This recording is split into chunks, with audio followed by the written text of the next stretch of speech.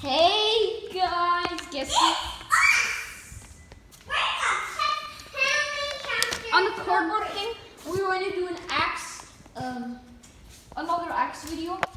Axe versus water bottle. bottle. Yeah, I And is- I got it, and I'm the first show you how to exit.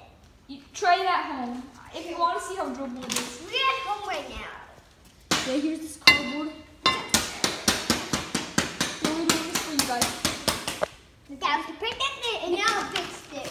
So, try to survive it so it doesn't break. I know to survive. Wait. Whoa, that's that. Okay, now. Oh, oh I sma- I smashed the water bottle. Wait, it, hit it. leaking? Oh yeah, yeah, it, yeah, it is. Oh.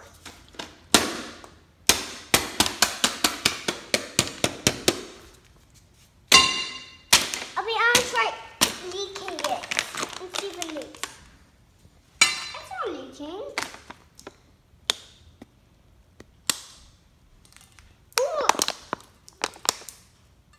Let's empty this.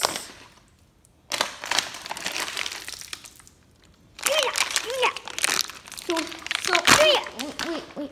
So the moral is never put an axe against your water bottle. It will break.